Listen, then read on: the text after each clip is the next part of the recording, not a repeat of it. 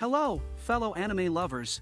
Are you as excited as I am about the Yuzuki Family's Four Sons Episode 7? Well, you're in the right place. Today, we're delving into the world of this heartwarming anime series, speculating about what could unfold in the upcoming episode. And trust me, you won't want to miss our predictions. Stay tuned for all the exciting details. The Yuzuki Family's Four Sons is a new slice of life series with comedic and drama elements.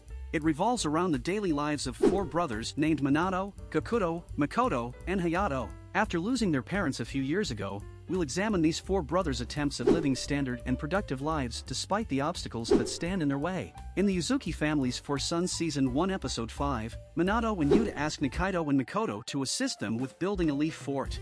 They decline their offer as a boy named Morita asks Yuta aside for a minute. Yuta returns and tells her friends he asked her out on a date. Minato takes the news happily and helps Yuta find an outfit for her date. Hayato reminds Minato that he won't be spending much time with Yuta now that she has a boyfriend.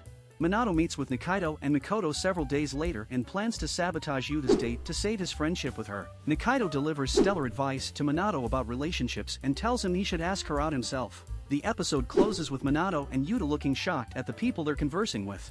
We've covered the entire episode with a lengthy recap that touches on all major plot points and discusses the chapter with an accompanying review.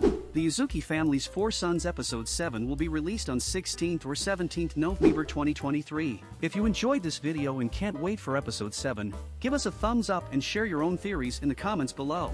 Your insights might just make it into our next video. For more anime discussions and predictions, check out our other videos, and until next time,